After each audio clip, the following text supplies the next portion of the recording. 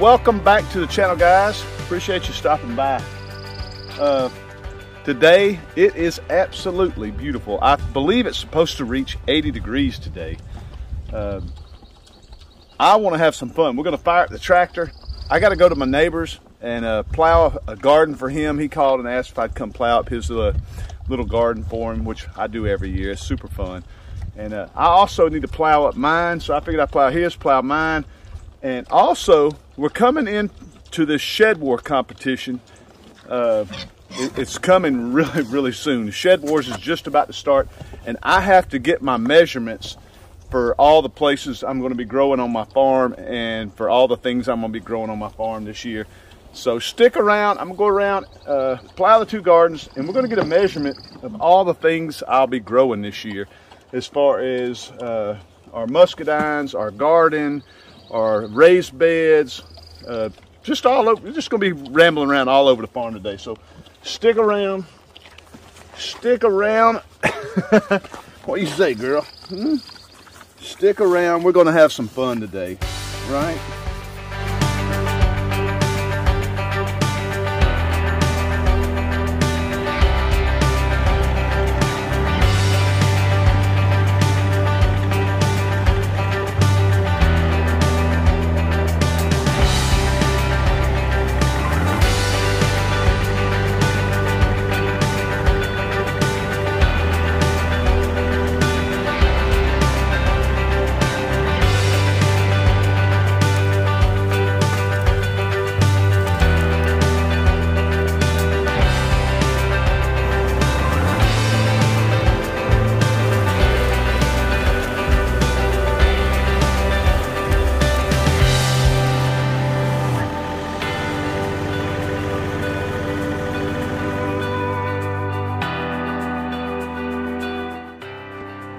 Nice.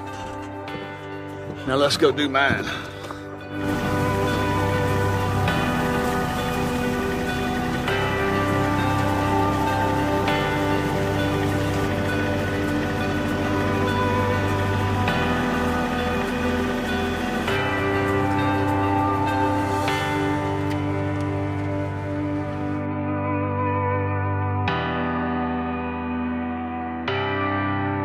That was super fun.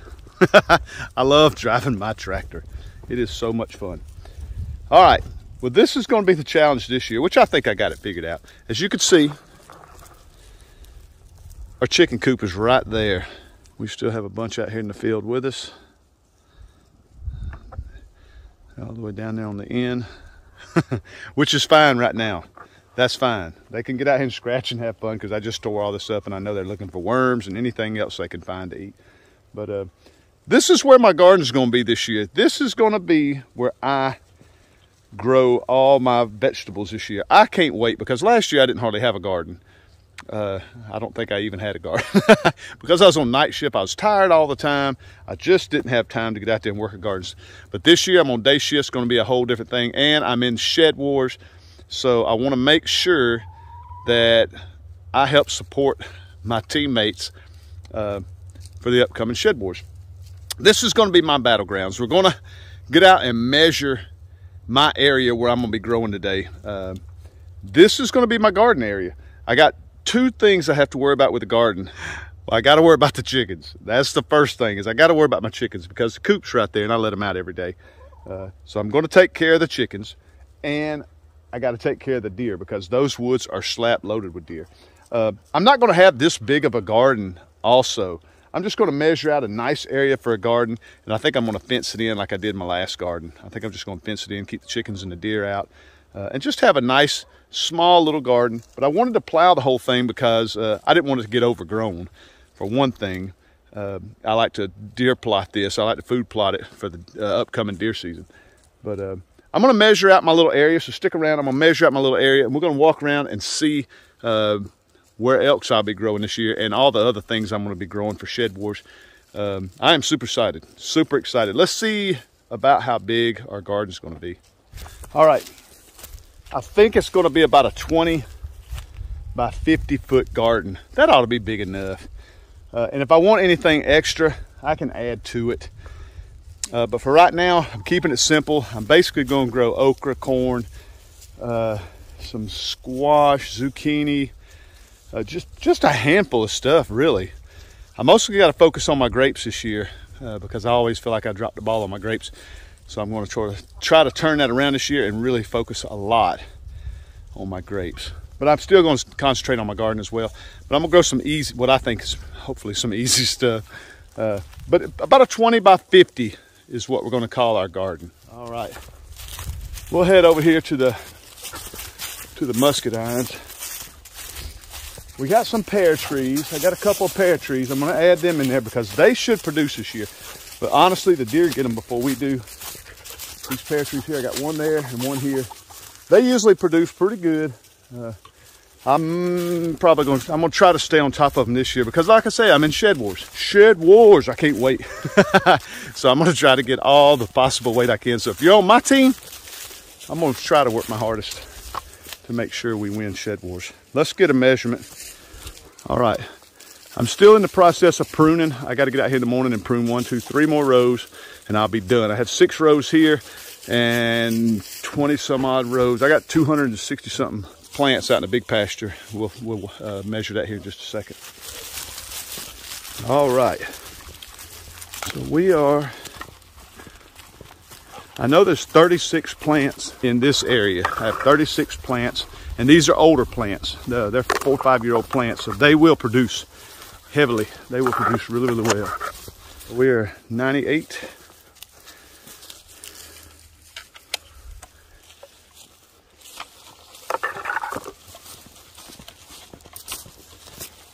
So 98, 55. Uh, I'm gonna call that 50 because I was a couple of feet off on that backside. I'm gonna say 90. I'm gonna say 98. I'm gonna say 100 by 50. So this is a 100 by 50 section of muscadines. As you can see, these have been pruned. These first three rows, they've been pruned. I gotta get those last three. Look at them, they're so pretty. Ooh, they're gonna put on some grapes. Okay, we're also gonna call the lake. I'm gonna uh, I'm going to be weighing all my fish out of the lake this year, if I can remember. but we just locked, uh, loaded it down last year in April, last April. Uh, so it's coming up on a year with a thousand channel cats. So we're really excited to see how well they do. Uh, I'll try to keep the weights of the channel cats. We're also going to do meat birds. I do meat birds every year. I kept saying, what do you say, Willie? Yeah, again, I keep saying I'm going to do meat birds every year. We do meat birds every year. Um, no, I keep saying I'm going to do 100 this year, but I think we're only going to do 50. I think we're only going to do 50. 100's a lot of birds. okay, speaking of chickens, we'll be uh, weighing our eggs as well. I'm always curious how many eggs we get. There was one year where we started keeping count of all our eggs and man it was adding up so quick. And we did it for about a month and it just sort of fizzled out. Look at our blueberries. They're getting loaded with bees. Look at the bees. Ooh, it's sunny and the blooms are all over the blueberries. Okay not sure how many blueberries we'll get because the birds always get them but we're gonna stay on top of them this year we're going to stay. I see I got a bunch of peach blooms going. Uh, those are our fruit salad trees. We're going to see how they do too. I have fruit trees all over the place. The whole place is just covered in fruit trees. Thanks to Ison's Nursery. You guys know I plug Ison's Nursery every single chance I get. All right. I know the sun is blasting, but this is the big vineyard and it goes way up to the woods and then way down to the woods. Uh, we're going to walk this off, see what we get. I think there's like 260 something plants, 269 plants, 260, 263 plants, I believe is what it is. But anyway, these guys are going to produce this year too, so we're going to get tons of grapes. Let's walk it off.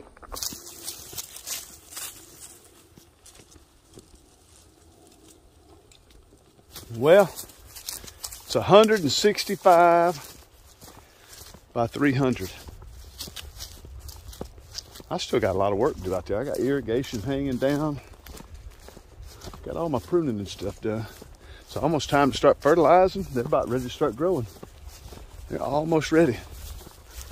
All right, here's the fruit salad trees I was telling you about. They've been uh, grafted apricot, plum, and peach. Uh, they're doing pretty good. That one in the center is really loading up. It's got a lot of pink blooms in it. This one has a lot of pink blooms in it. But uh, just doesn't ever do all that well. This one has whites on it, so I think this is more of a plum. But they just don't ever, they'll, they'll get going and they'll make uh, about quarter size fruit and then they'll dwindle off, get eat up, and they just don't ever do all that well. Uh, and I talked to a lot of people around here. There's actually a peach farm right down the street, and he tells me I have to spray them, and I just I just can't afford to spray another darn plant. I'm already spending all my money on the muscadines. All right, well the blackberries are not going to count this year. I got 60 here and 60 over here. I'm still building trellises for. They're not going to count this year for the simple fact they won't produce this year. Uh, they produce on the second year. I just put them in this this past winter, or this just a couple months ago. I just put them in. I got 60 and 60 and uh, they're doing great. They're starting to leaf out. They're really doing good. I got to get on these real quick, building trellises and mulching real quick. Uh, I'll probably do that next week, but they're not uh, ready to produce yet. Next will be our bean tunnel. Now we're definitely going to load this thing up with beans, both sides, and they're 25 foot long. So that's going to be 50 feet of beans. They'll come up and over these tunnels both ways and they'll hang the beans down. It just, it's really pretty to get in here and pick your beans uh, during the summer. It's so much fun. I'll be putting these in here real soon.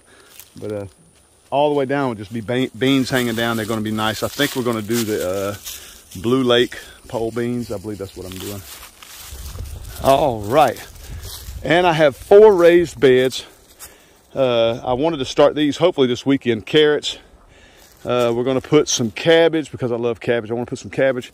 Uh, this one's probably going to be uh, a lot of jalapeno peppers because we have some big ideas this year about making a lot of cowboy candy. We only made a few jars last year and we ate through that stuff so fast. If you've never made cowboy candy, look it up. We will definitely be making some videos on it.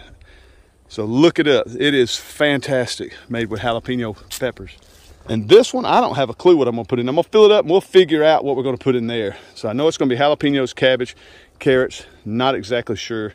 You guys have any suggestions, let me know. I got to get some soil put in there.